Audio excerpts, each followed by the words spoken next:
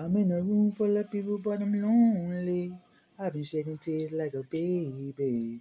Losing my mind, going crazy. Gotta stay strong, can't phase me. Man, I didn't even know y'all was there, man. My bad. I'm just doing my singing thing, man. But uh I knew y'all probably see this Torah, man. It's a pretty dope book. I haven't really learned how to read it yet, man. Um I don't know if y'all know how to read it, but I'm I'm intrigued with it. My brain was sparked by it.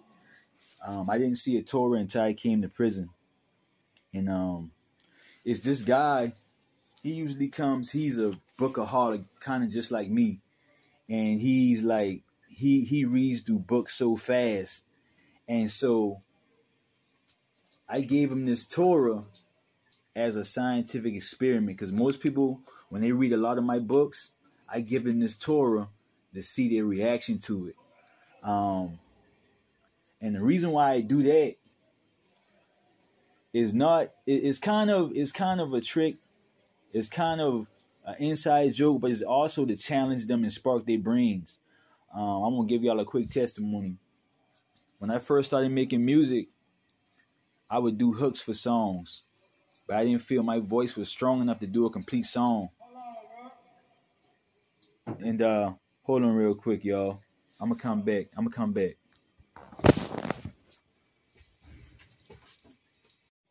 Okay.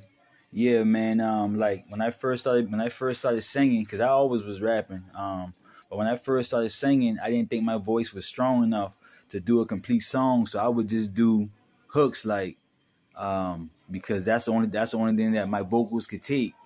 But one day I was walking around and, and the dude he was like, Man, he said, Bro, you be singing these hooks, you might as well make a whole song. And I was like, I don't think I can do it, man. I couldn't see that in myself. But he saw it in me. And he sparked my brain to make me even want to do that. Um, he told me just like, man, stop doubting yourself, bro. Like you can do it. And I was singing, singing, singing till my vocals started to hurt. And then I would rest it. And so he kind of put a fire in me that I tried to put inside everybody else, man. Of um, because I'm from a city where people just stay in their comfort zone. And I guess God made it my mission for me to help um, bring people out of their comfort zones, man. And that's growth is uncomfortable. And so I gave him this book, and um, he sent me back a a note. He said, "I'm smart, but I can't read Hebrew." Laugh out loud. And my thing is, um, especially as a as a melanated being, um, but as a human being, period, man, I feel like the knowledge is already inside of us. And, and and even though I didn't think that he could read it or know if he could read it, because I didn't know what he could do, um, I didn't want to limit uh, or place my beliefs on him because there are people who can read this, and I just wanted to see where if he would challenge himself. I wanted, I, I, I hope that he, the goal was for him to keep it for at least twenty four hours but he sent it right back, which most people do, and I get it. And you know, um, the whole the whole thing is, man, the message behind this testimony is to get out your comfort zone and to challenge yourself. I just wanted to spark his brain like how my brain was sparked. Um, you know, you know when you when you are learning new things, it forces you to you know, the, the, the, to put your pride aside and really learn these things.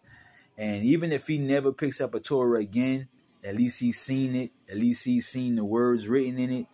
And God used me to spark his brain. You know, just like how somebody had to spark my brain. You know, we had a time where there's a lot going on in the world. And an elder came to the door and he said, Man, you want to learn, you want to try to learn everything because you just never know when you may be the last person left to have to teach this knowledge. You know, you are smart enough. We have to go beyond our limited beliefs, man, and that's something that I'm learning. I didn't learn these things until I came to prison, man, but it's better late than never.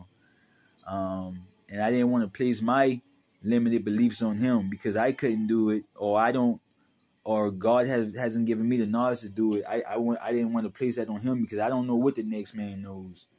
And um, like I said, he's sending it right back, man. He he's sending it right back. But hopefully it sparked his brain. If it didn't, at least he's seen something. You know, I did I did what God told me to do. That's my mission in life to, you know, to spark some kind of a to spark something, just like how my brain was sparked, man. And um, yeah, man. If you've ever been inspired by somebody or somebody ever sparked your brain, man, write down in the comment section below. And if you're feeling inspired to make content, if you're feeling inspired to sing, do it, man. I had to I, I used to sing so much that my vocals would get tired, man. And I'm not saying I'm so good, this and that and the third or whatever, but I'm just saying that somebody had to bring that out of me. And I made that my mission in life to help people bring out their talents or bring out their inner selves. Um Yeah, man. But uh I love y'all. Most importantly, I want y'all to love yourselves. It's never goodbye. It's always see you later. See you later. But before I go, let us pray. I pray for the people who went hungry today. My heart goes out to you. Stay strong, amen. I pray for the people who were lost and went astray. My heart goes out to you, stay strong, amen. I pray for the people who have nowhere to go. My heart goes out to you, stay strong, amen. I pray for the people each and every day. My heart goes out to you, stay strong, amen.